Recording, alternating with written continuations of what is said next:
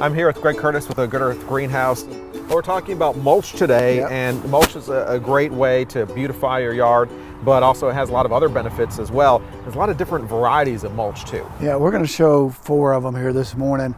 And some of the benefits though are going to be as summer gets here, it helps on the moisture, keeps the moisture around the plant so you're not watering as much. Definitely help keeps the weeds down. And what we recommend for that too, Jeff, is putting out a pre-emerge before you're going to put the mulch down. So that'll give you just a little extra insurance on some of those weeds. But what you're saying about the different types of mulch, so this is what we'd call a single hammer here behind us. You can see the different colors, kind of a, bright red. Then over here to my right is what we call a double hammer. And all that means is when they go to the chipper at the mill, because this is, is basically a byproduct from the mills, so they'll run it through once to give us this, and then two times to give us this. And the, the main difference is this one actually has, I'm looking at it this, this load now. Let me just show that real fast. So you never know from load to load, uh, just to show the viewers. So this one has a little bigger chunks in it than we would like in a double hammer.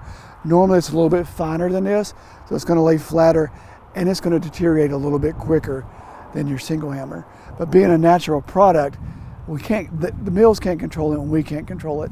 So I just recommend if you start a project, try to get it done within the day or so because it could come in a little bit different colors mm-hmm. because we average about two loads a day now to the end of May. So really important when you get the mulch, get it all at once as opposed to, well, I'll get some now and then get some a few days from now because your mulch may not, it may not look exactly the same. And you might say, well, all I got is a pickup or a trailer.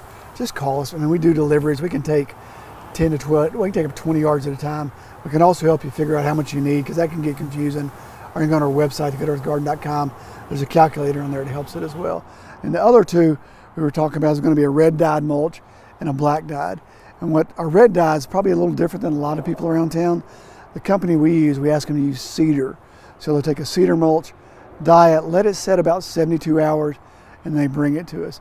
The black mulch is usually a cedar as well. So that, that's a good insect deterrent. This, the two we're looking at right now are hardwood. So we'll get some calls once in a while about termites. Termites don't work that way. So these are not going to help bring termites to your yard. And then we have a great selection of bagged as well. All right, so they don't bring in bugs. That's just kind of a myth that goes around Yeah. with mulch. And so how about, how, how often do you want to do this? Ideally, you want to do it at least once a year. Uh, some of our customers will put a light coat, what we say be an inch. We'll do it twice a year. So, but you want to do it at least once. All right, that's all the time we have for this week. Join us back here next week for the Good Earth Greenhouse.